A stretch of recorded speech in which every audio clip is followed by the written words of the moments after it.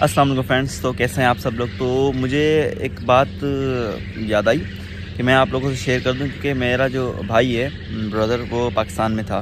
तो पाकिस्तान और दूसरी कंट्रीज़ के लिए। फ़िलहाल तो मैं पाकिस्तान, कराची की तरफ़ से बात करूँगा, लेकिन मैं अभी यू में मौजूद हूँ। मैं अपनी बात नहीं कर रहा। मेरा भाई जो है, कल जो है वो सेवन हाँ सिक्स सिक्स अगस्त को वो यू में आया है।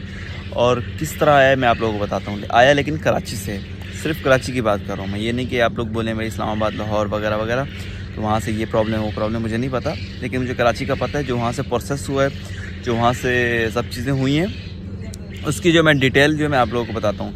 सबसे पहले जो है, जैसे फ़्लाइट्स खुली हैं, सबसे पहला जो उन्होंने काम किया है आईसीए अप्रूवल आईसीए अप्रूवल लेकिन उनको जो है ना, यहाँ की वैक्सीन वैक्सीनेशन हुई थी वैक्सीन लगी हुई थी यू की। ठीक है?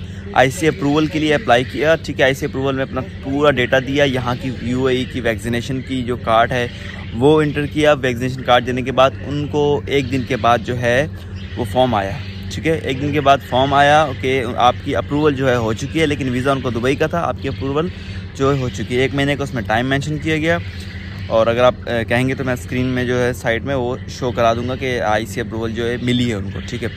तो दुबई का वीज़ा था आई सी अप्रूवल मिली है वैक्सीनेशन भी यहाँ की यू की हुई हुई थी, उनको मिली है।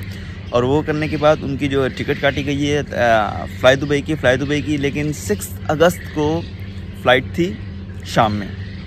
लेकिन दिन के टाइम वो सारी जो फ़्लाइट्स हैं मुतल मतल कर दी गई हैं, सस्पेंड कर दी गई हैं, वो वाली फ़्लाइट सिर्फ़ जो आई नो के आई डोंट नो कि किस वजह से शायद पैसेंजर की वजह से या फिर उनकी रिक्वायरमेंट पूरी ना होने की वजह से शायद कैंसिलेशन की गई हैं एमरेट्स एंड फ्लाई दुबई जो कैंसिल कर दी गई हैं। तो उसी टाइम दोबारा फ़्लाइट करवाई गई है शारजा की। शारजा की फ़्लाइट मिल रही थी तो वहाँ उसी दिन 6 अगस्त को शारजा की फ़्लाइट करवाई है। शारजा की फ़्लाइट करवाई है कराची टू शारजा।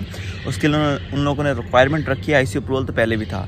रिक्वायरमेंट रखी है रैपिड टेस्ट रैपिड टेस्ट क्या है प्रोसेस में? बाहर से तो हो, वो मानते नहीं हैं। तो आपको तकरीबन कुछ घंटे पहले जो एयरपोर्ट में जाके रैपिड टेस्ट को करवा के आना पड़ता है। तो मेरा ब्रदर रैपिड टेस्ट के लिए एयरपोर्ट में गया है। वहाँ से करवा के तकरीबन पच्चीस सौ रुपये लगे पच्चीस सौ रुपये पाकिस्तानी। पच्चीस सौ रुपये लगे, वहाँ पर रैपिड टेस्ट करवाया कम्प्लीटली करवाने के बाद वापसी आया, ठीक है?